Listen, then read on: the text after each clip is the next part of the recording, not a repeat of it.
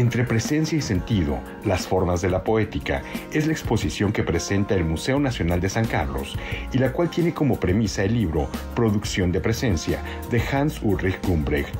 La muestra, con alrededor de 90 piezas, entre escultura, pintura, fotografía y piezas sonoras, conmemora los 55 años del establecimiento de la Academia de Artes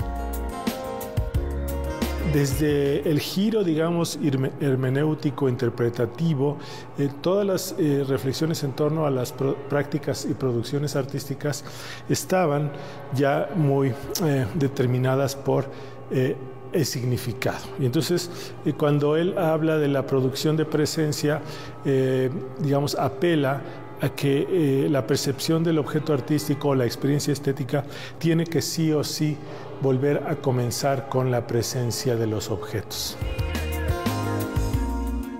Con piezas de Leopoldo Méndez, Manuel Felgueres, Manuel Álvarez Bravo, Quilloto Ota, Arturo García Bustos y Jorge González Camarena, entre otros, la exposición pone de lado la idea de significados para orientar al espectador en el sentido poético. Lo que nos interesaba era justo ver la manera en la que la poética en sí mismo eh, primero tiene una implicación con el espacio que percibe. Después el segundo eh, ámbito eh, tiene que ver con la manera en la que estas formas poéticas producen un ejercicio de tangibilidad o un mecanismo de hacer tangible algo. Y en ese segundo espacio lo que se integró fue formas que tuvieran que ver con la manera en la que hay una distinción ya de seres de la naturaleza. La exposición no parte específicamente de una narrativa historiográfica que apele a estilos, corrientes estéticas o generaciones de artistas.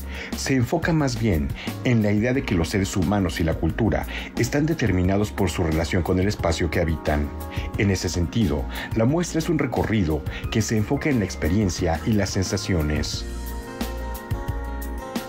Algo que planteaba Gumbrecht en su momento es suspender el automático historiográfico, el automático de legitimar una práctica poética en tanto se circunscribe o no a una corriente o tradición artística. Y decir, vamos a volver a la presencia y que la presencia nos genere esa relación con el sentido. Eh, decidimos eh, incluir en el recorrido dos eh, piezas que son composiciones de miembros de la sección de música eh, con esa intención, con la intención de que el concepto de presencia de Hans Ulrich Gumbrecht eh, rebasara ese hábito que presupone que los objetos materiales táctiles, digamos, son los únicos que recurren a una forma de presencia.